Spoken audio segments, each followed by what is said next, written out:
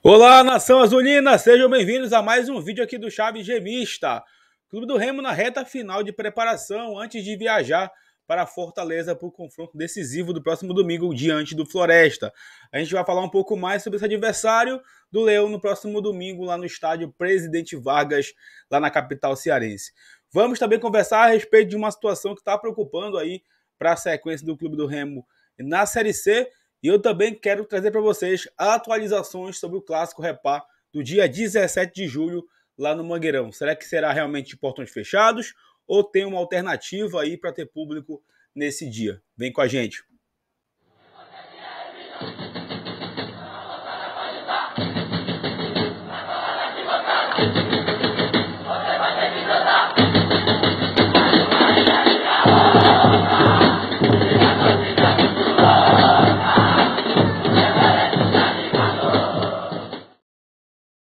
Peço para você que é novo, novo por aqui, que se inscreva no canal, ativem o sino de notificações. Lembrando, assim que chegarmos na marca de 25 mil inscritos, tem sorteio de duas camisas do Remo para vocês aqui no Chaves Remista.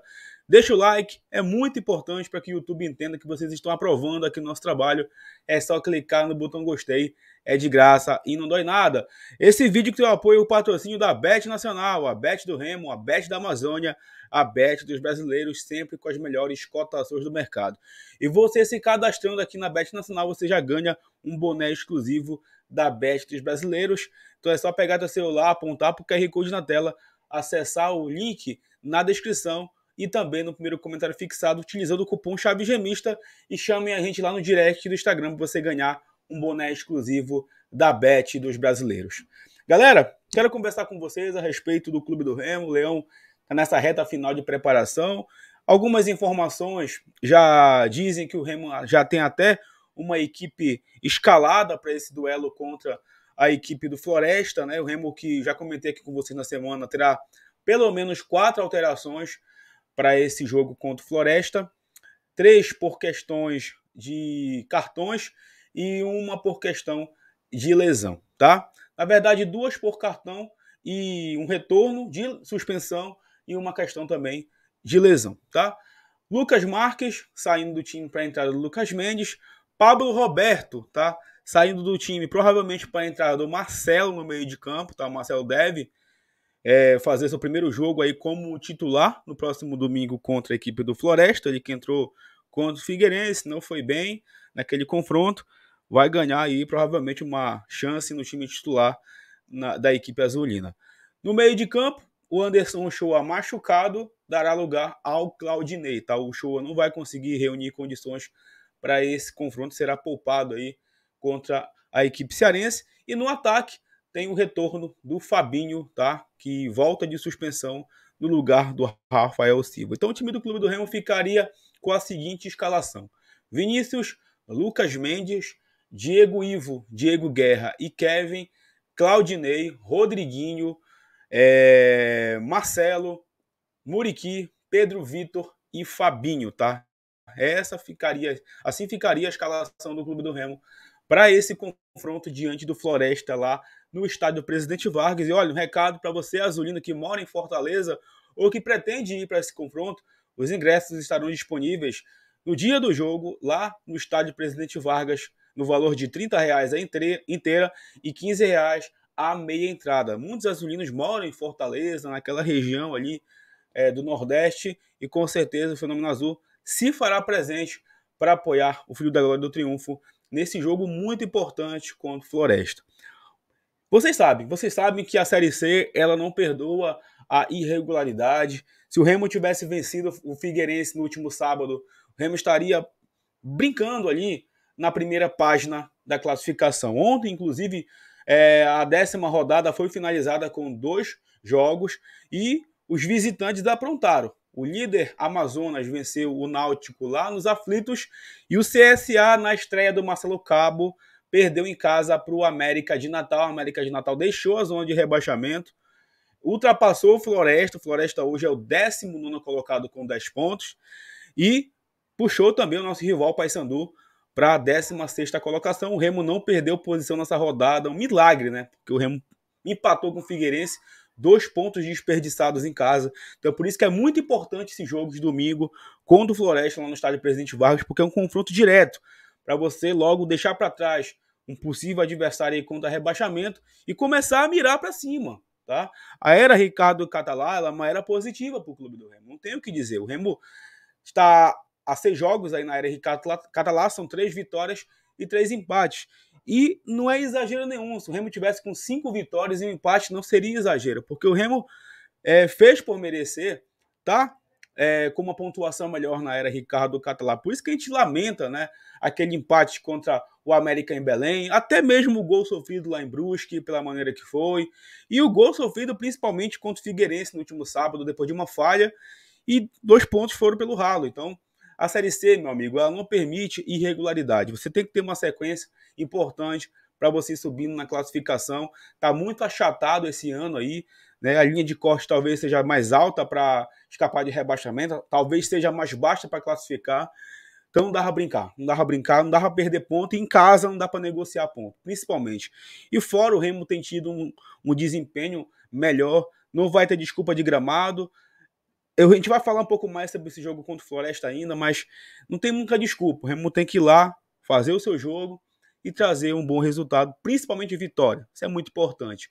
Claro que tem esse atenuante dos desfalques que com certeza preocupam aí o técnico Ricardo Catalá. Lembrando que o Vitor Leque já foi aí apresentado, né? Já teve seu nome caído do bid. Vamos ver se domingo ele irá, pelo menos, entrar no segundo tempo aí e ajudar a equipe do Clube do Remo. Lembrando também que ele ainda não jogou em 2023. Galera, amanhã, tá? Lá no STJD, como a gente comentou ontem aqui, vai acontecer o julgamento do Clube do Remo lá naquela daquela partida contra o Amazonas pela terceira rodada da Série C, aqueles problemas que tiveram no Mangueirão, no Bainão, perdão, e o Remo correndo risco aí, tá? De perder mando de campo, tá?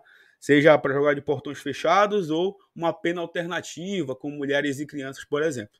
Então amanhã, às 11h30 da manhã, vamos ficar ligados aí, tá? Para saber o resultado desse julgamento. O nosso rival, Paysandu, já é reincidente, foi julgado de novo, teve mais dois jogos de punição. Só que em relação tá, à partida contra o Paysandu, o clássico Repá, no próximo dia 17, lá no Mangueirão, a Defensoria Pública do Estado do Pará fez um pedido, tá? Para que essa partida tenha mulheres e crianças, tá? De até 16 anos. Crianças de até 16 anos. Mulheres e crianças de até 16 anos. Para ser um evento da paz, um repá da paz, digamos assim, tá? No Mangueirão. Tem muita gente falando em Curuzu, mas o jogo deve ser mantido mesmo lá para o Mangueirão, tá, pessoal? Deve ser mantido lá para o Mangueirão. Então, a Defensoria Pública fez esse pedido, o repar até o momento está confirmado mesmo para ser só com mulheres e crianças. Infelizmente, né, o nosso rival aí é, teve essa punição que vai fazer com que a gente também seja prejudicado, né? Nós, torcedores do Clube do Remo, teremos que pagar o pato também, né? Até porque não existe uma punição em que o visitante é beneficiado e possa ter torcidas. A punição é para o mandante, tá? O mandante, por exemplo, não pode vender ingresso. Então, por isso que é afetado, por mais que tenha um acordo aí, que Remo e Paysandu dividam né, a venda dos ingressos, mas não pode né, ter visitante ser beneficiado porque o mandante foi punido. Paysandu é reincidente nisso. Eles vão ter torcida ainda contra o Brusque no próximo sábado, mas no repar eles terão que cumprir essa punição. Então, por isso que tem essa pena alternativa aí de ter mulheres e crianças nas arquibancadas. Isso já aconteceu lá no Paraná, já aconteceu lá em Pernambuco e tem sido uma tendência aí, né, para que seja uma alternativa para tentar escapar aí dessas punições mais pesadas do STJD. Lembrando que o próximo jogo do Clube do Remo em casa é contra o Operário no dia 10 de julho, 8 e meia da noite, no Baenão. E vamos aguardar o resultado do julgamento de amanhã para saber se isso vai ter interferência ou não nessa partida contra a equipe do Operário. Queria só comentar com vocês aqui rapidinho um pouco sobre essa equipe do Floresta. Floresta que é o 19 colocado da Série C e terá a estreia do técnico Sérgio Soares, tá? Nesse próximo domingo contra o Clube do Remo. O último jogo do Floresta foi contra a equipe do Brusque, fora de casa, e estavam com uma, um técnico interino, porque contra o Paysandu, é, o Gerson Guzmão perdeu o emprego dele. Ele mesmo que treinou o clube do Remo no ano passado, perdeu para o Paysandu na Curuzu e foi demitido. O Floresta esse ano faz uma campanha mais uma vez bem irregular. De novo, está lutando contra o rebaixamento. Nesse momento é o penúltimo colocado e lá tem figuras bem conhecidas aqui, principalmente que atuaram é, no nosso rival. Tem o goleiro Zé Carlos, bem experiente, o lateral direito Igor Carvalho e o mais aí badalado nos últimos anos lá no rival, o meia Ricardinho, tá? É outro jogador que passou por aqui também, está atualmente na equipe do Floresta. Como eu disse, é uma equipe modesta, é uma equipe que esse ano, mais uma vez, está aí lutando contra o rebaixamento. Não vai ser um jogo fácil no próximo domingo, mas o Remo tem, mais uma vez, repito, a obrigação de trazer um resultado positivo, especialmente uma vitória lá do estádio Presidente Vargas. Queria que vocês comentassem aqui esses assuntos, se vocês acham realmente é, uma alternativa válida, né? pelo menos mulheres e crianças no EPA, sobre essa situação também do time do Clube do Remo e principalmente aí falando sobre esse adversário do Leão no próximo domingo pela 11 rodada da Série C. Reta final da primeira fase, não dá tempo mais para lamentar, o Remo precisa reagir o quanto antes, se quiser ainda sonhar com classificação.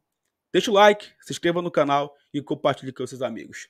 Tamo junto, valeu!